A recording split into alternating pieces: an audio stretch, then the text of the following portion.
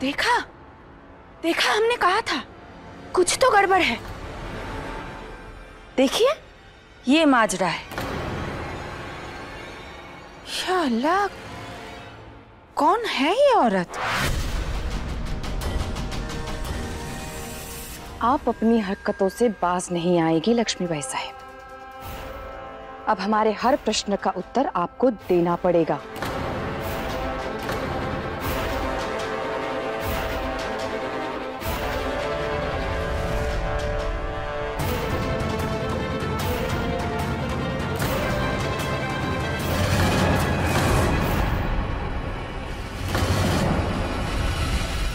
अरे इसे तो अन्य विधवाओं के साथ सूरज महल में होना चाहिए था ना?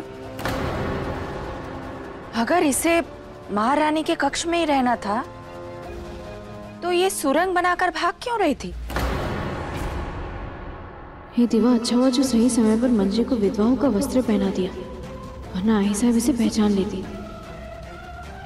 हम आपसे पूछ रहे लक्ष्मीबाई कि ये यहाँ क्यों है?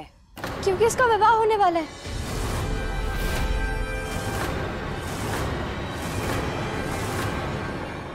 विवाह?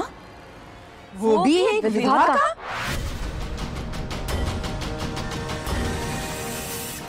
महाराज ऐसे कैसे कर सकती है महारानी लक्ष्मीबाई? आज तक उन्होंने जो कुछ भी किया हमने उनकी नादानी समझकर उन्हें क्षमा कर दिया मगर आज तो सारी सीमाएँ लांग दी इन्होंने।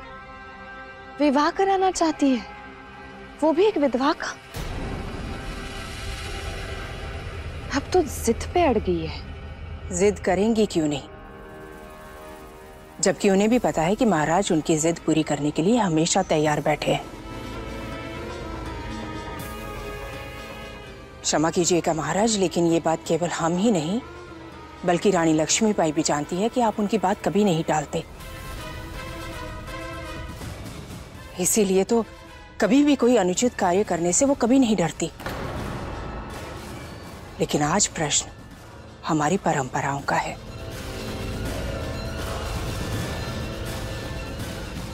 राम राम राम।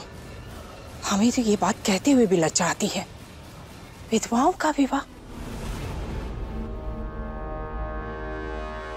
खुदा बस खता न कराए राजगुरु जी। आप चुप क्यों हैं? बताइए ना महारानी की ये जिद सही है या गलत? हमने तो इस प्रकार का प्रसंग ना तो पहले देखा है और ना सुना है महाराज।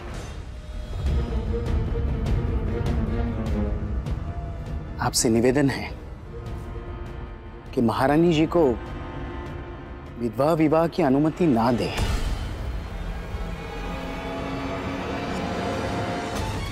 क्योंकि प्रजा धर्म के विरुद्ध कुछ भी सहन नहीं कर सकती। ऐसा ना हो कि महारानी जी के इस कदम से पुनः उन्हें प्रजा के तिरस्कार का सामना करना पड़े। आप उचित कह रहे हैं राजगुरु जी रानी लक्ष्मीबाई को इस विधवा विवाह की अनुमति नहीं दी जाएगी। और न ही इस प्रकार का कोई विवाह होगा। हमारे समक्ष तो महाराज बड़ी बड़ी बातें करते हैं पर लक्ष्मीबाई के आते ही उसकी बोली बोलने लगते हैं। इसलिए हमें ही लक्ष्मीबाई को रोकना होगा और इसके लिए हमें सबसे पहले जाकर रॉस साहेब से मिलना होगा।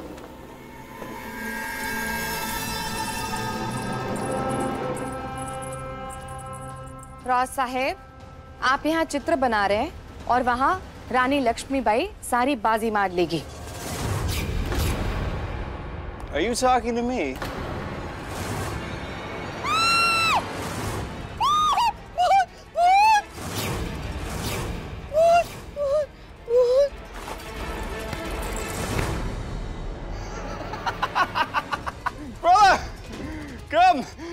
अपनी partner in crime, Rani Janki Bai को क्या हो गया?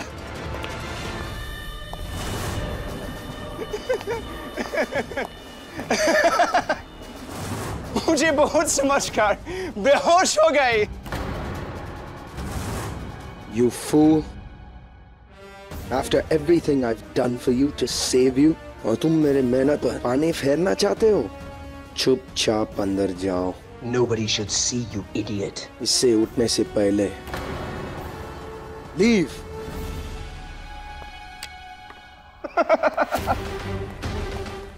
अरे महारानी साहब क्या हो गया आपको?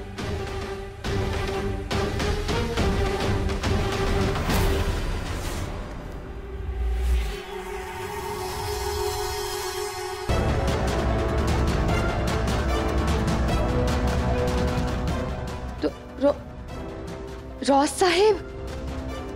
हमने रॉब के भूत को मतलब रॉब को यहाँ देखा। वो भी जीवित? आई कैन अंडरस्टैंड होता है। उस क्वीन ने आपको इतना स्ट्रेस और टेंशन दिया है। क्या आपका दिमाग काम नहीं कर रहा है? योर एक्सीलेंसी पर काश आप जो कह रही है वो सच होता तो मेरा भाई ज़िंदा होता। उसका तो फ्यूनरल भी हो चुके हैं। हाँ हो हो सकता है कि कभी कभी मृत्यु के बाद आत्माएँ भटकती रहती है सालों तक। वो सब छोड़ो। ये बताइए कैसे आना हुआ? सर हमने कल्प्रेट को सर्च करने के लिए टाउन के हर घर में रेड डाला। और इस सर्च ऑपरेशन में हमें सिटी से दूर एक डेजर्टेड हाउस मिला। वहाँ हमें ये मिला।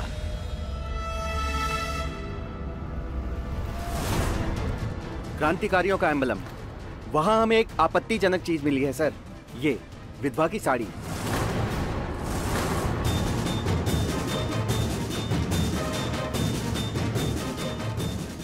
Now, what does this women's sari mean? It means ये भारत वुमेन को भी अपनी टीम हायर कर रहा है। ये भगवान हर स्थान पर बस विधवा विधवा और विधवा। महल के अंदर भी महल के बाहर भी।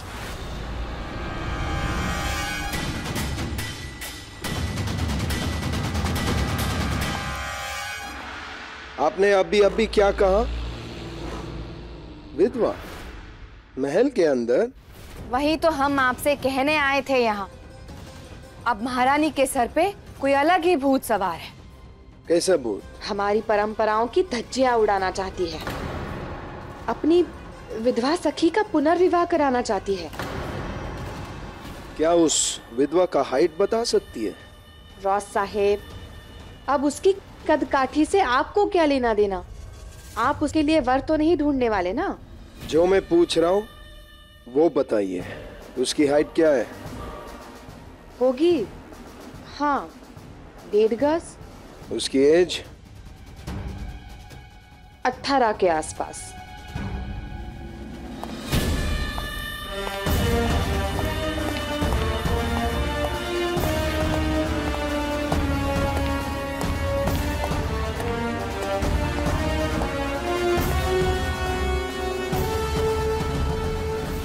वो ऐसे तो नहीं दिखती।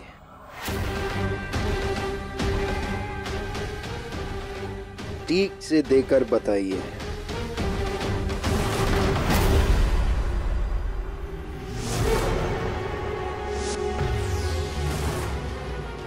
हाँ मगर हम यकीन के साथ नहीं कह सकते। ये तो रंगीन पोशाक पहनी हुई है और विधवाओं का पोशाक अलग होता है। इसके तो बाल भी है तो हम भ्रमित है, कुछ कह नहीं सकते।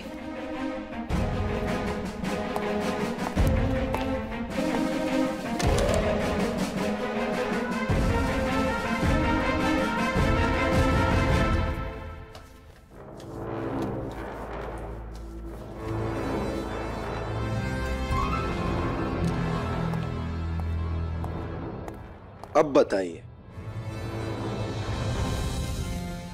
अब कैसे बताएँ? आपने तो उसका चेहरा ही ढक दिया। एनीवेज उस विडो पर नज़र रखिएगा। हो सकता है कि क्लोज और सामान को चेक करने से आपको कोई क्लू मिल जाए। आप चिंता मत कीजिए। जब रानी लक्ष्मीबाई उस विधवा के विवाह के लिए महाराज को मनाने में रहेगी तल्लीन ये रानी जानकी बाई उनके कक्ष की पूरी तरह से करेगी छानबीन। धोखे का खेल चरम पर हमें भरोसा है सिर्फ़ हम पर।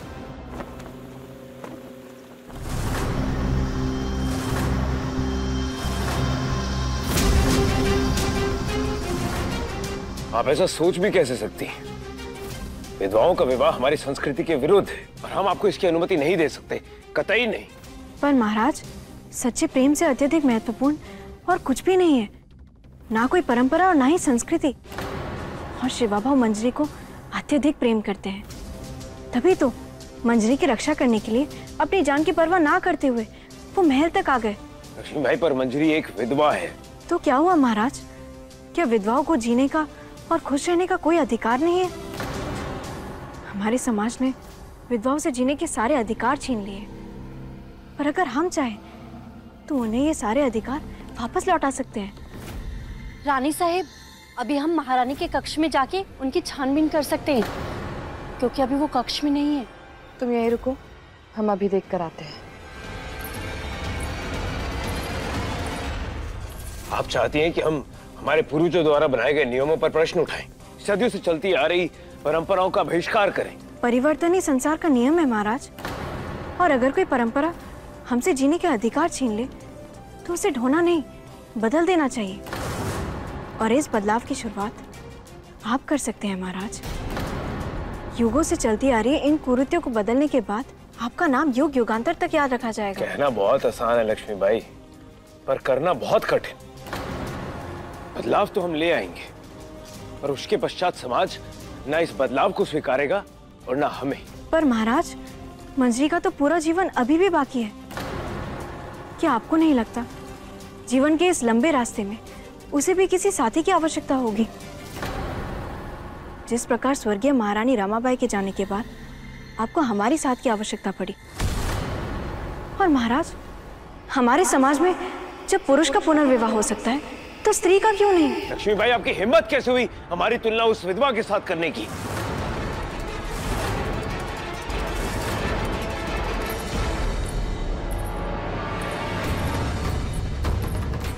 आज तो लक्ष्मी बाई के कक्ष में छुपे रहस्य का पर्दाफाश करके ही रहेंगे। कुछ ना कुछ तो अवश्य हाथ लगेगा।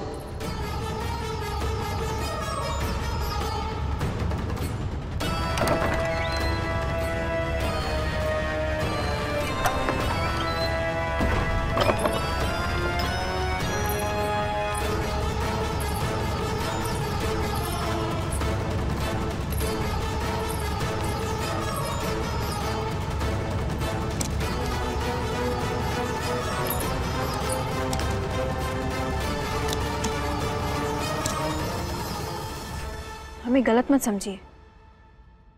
हम आपकी तुलना मंजरी से क्या? किसी के साथ भी नहीं कर सकते। हम तो बस ये कह रहे थे कि विधवाएँ भी इंसान हैं। उनके अंदर भी भावनाएँ हैं। उन्हें भी स्नेह और किसी का साथ चाहिए। और शिवाबा मंजरी को ये सब देने के लिए तैयार है। हम आपसे निवेदन करते हैं। इस विवाह को होने से मत रोकिए। कोई भी समस्या होगी, उसका सामना हम कर लेंगे। हम समझ गए कि आपने दृढ़ निश्चय कर लिया है, और अब आप किसी की नहीं सुनेंगी।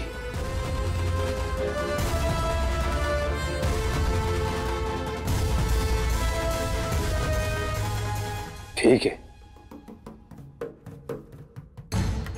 और आप ये विवाह केवल अनाधिकारिक रूप से कराएँगी, क्योंकि हम इस विवाह का समर्थन आधिकारिक तौर पर नहीं कर सकते। और अगर ये विवाह अनाधिकारिक रूप से होगा तो कोई भी कानूनी तौर पर इसका विरोध नहीं कर सकेगा।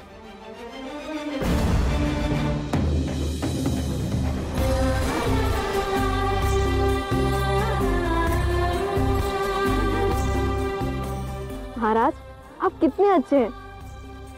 सबसे अच्छे।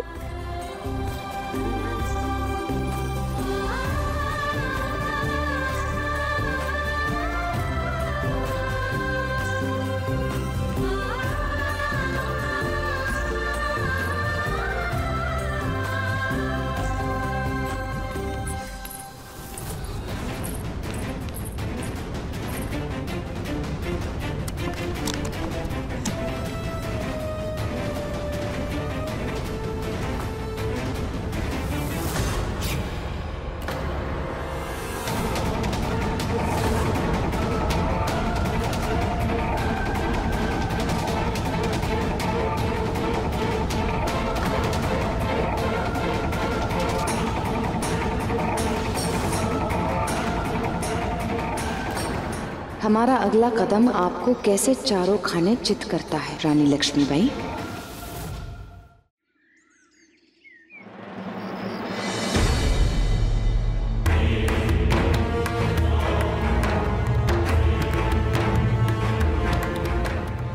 क्षमा कीजिए मोरपन जी। किंतु एक विधवा का विवाह? मेरे विचार में तो बिल्कुल अनुचित है।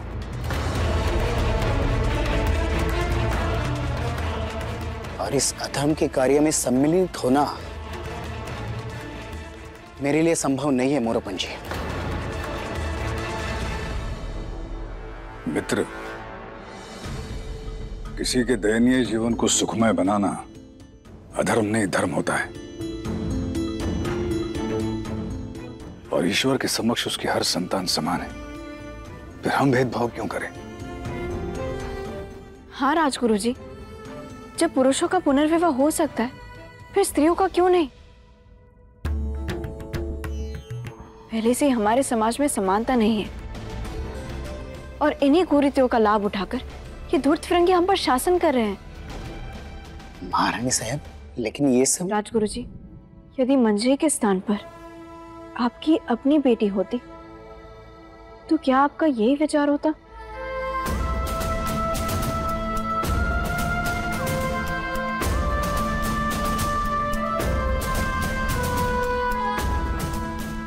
महारानी साहब, आपने मेरी आँखें खोल दी हैं। किंतु मेरे मेरे हृदय में एक प्रश्न उठ रहा है। मोरोपन जी के रहते आपने ये विवाह का भार मुझे क्यों दिया? क्योंकि हमने महाराज को वचन दिया है कि ये विवाह अनाधिकारिक रूप से होगा। इसलिए हम या बाबा इस विवाह में प्रत्यक्ष रूप से सम्मिलित नहीं हो सकते।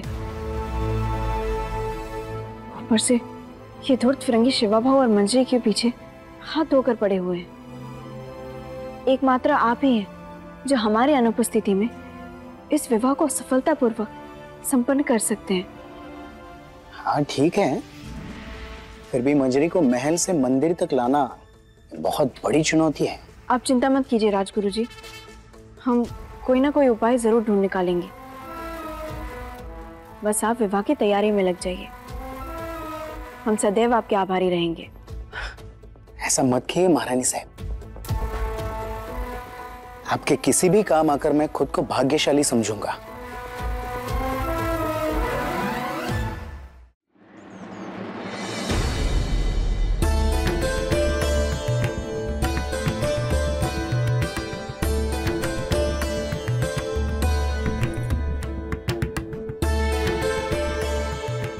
समझ में नहीं आ रहा है। ये आँसू खुशियों के या दुख के? हमें बहुत खुशी हो रही है। कि हमारी सखी का विवाह होने जा रहा है। पर साथ ही साथ बहुत दुख भी हो रहा है। ना जाने हम कब कैसे और कहाँ मिलेंगे? मनु तुमने मेरे लिए क्या कुछ नहीं किया? मैं इस जन्म में तुम्हारी एहसान नहीं चुका पाऊँगी। खबरदार। जो एहसान जैसे शब्द हमारी दोस्ती के बीच में लाए तो।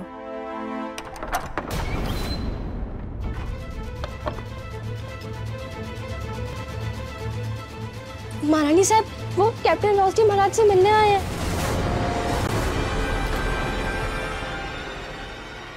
क्या? कैप्टन रॉस महल में? वो भी इतनी सुबह सुबह हे देवा कहीं इस रॉस को मंजरी के विषय में कोई भनक तो नहीं लग गई?